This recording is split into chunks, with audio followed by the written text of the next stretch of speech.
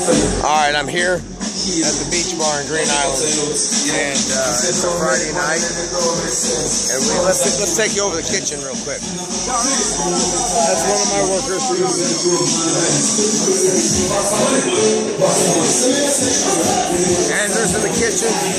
Let's see what we got, Andrew. Open that up. Open that up. Got some oh shit, you can't see it. It's chicken soup. Look at that big ass pot. Lord have mercy. All right, Andrew's cooking that shit. Everybody's here kicking it. I got about 40 people here, 50, something like that. It's a Friday night, March 27th, 2015. I bought the bar about five months ago. We're kicking it. But I keep telling black people they don't film very well in the dark.